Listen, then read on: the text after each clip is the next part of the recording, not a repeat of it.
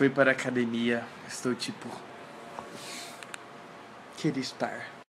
Gente, eu tenho uma dica pra você que a sua cor preferida é azul. Não estou fazendo jabá nem nada, mas escutem. Não, mas sério agora. Tem um Instagram que chama Blues in the Air. Por favor, sigam. É muito bom entrar no Instagram deles e ficar olhando tudo azul. Sabe o que, que eu tava vendo?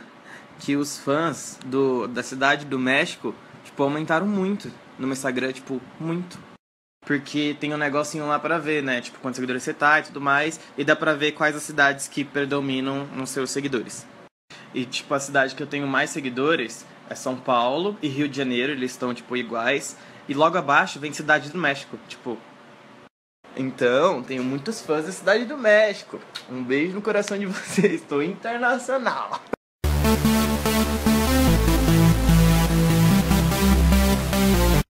Olha, esse é o cenário mais lindo do YouTube.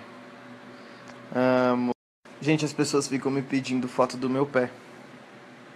Vocês já viram um pé muito feio? É o meu. Não vou mostrar. é sério. Ô, oh, mano, que que é isso? Olha. Que é isso? Será que é uma espinha? Uma espinha no meu olho? Por que, que aqui no Brasil não tem a mesma coisa de sair pedindo doce no Halloween, né?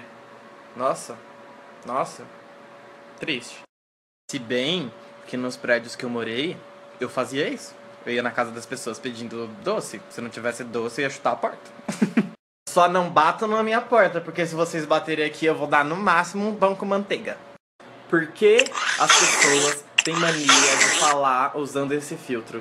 Não dá pra entender nada, só fica isso. Enfim.